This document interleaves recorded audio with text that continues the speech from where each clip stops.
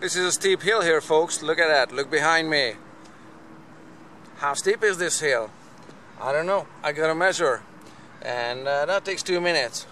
What I need for it is this beam level, a plumb bob, super low tech but absolutely handy, a tape measure,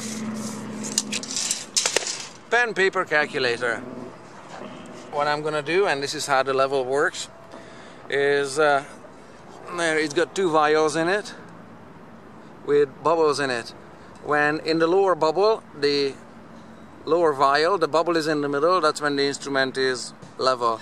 Or you flip it around there it's level again thereabouts there. So what I'm doing is with this level and the plumb bob I'm gonna get myself a little triangle here in the air. The grade or slope of things is expressed with two numbers. One rise and the other is run. So if I hold this level beam here level it's gonna be a certain distance away from the surface of the pavement here. What I've done here is oops everything's sliding. I hook up the tape the end of the tape to the end of the level there and I have measured that exactly 100 centimeters which I've marked on the level here. Where is it? There sorry. So you can see it. And that's how the easiest this measurement is with centimeters. Grid numbers are given you as rise over run. And if the run is conveniently 100 centimeter uh, we're going to take a measurement in centimeters vertically down.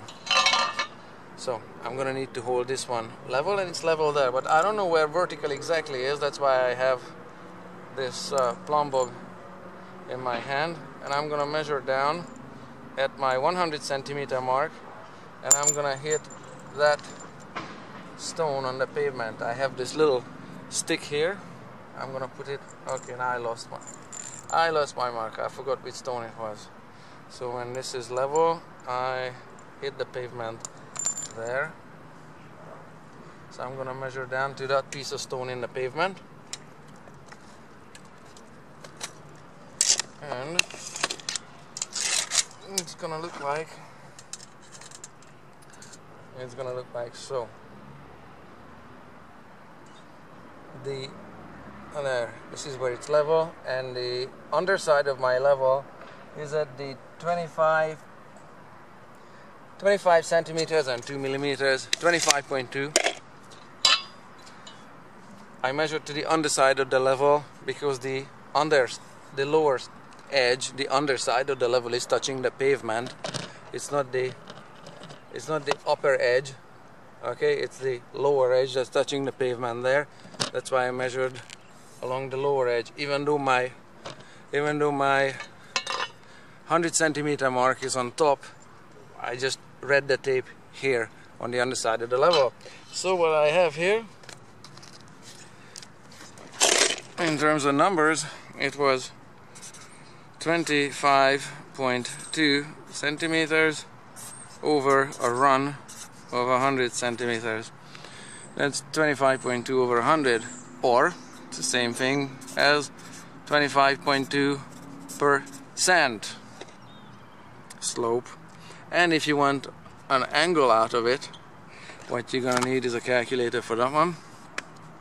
You have to do second function tangent. So I'm just gonna write tangent minus 1 and uh, enter this fraction as is into the calculator. Well it's a division so I'll show you. 25.2 divided by 100 so far so good. That's a no-brainer. There's your decimal number. Second function tangent 14.1 degrees. So this slope is 14 point I just gonna go uh, okay just 14.1 14.1 degrees there. That's how steep it is.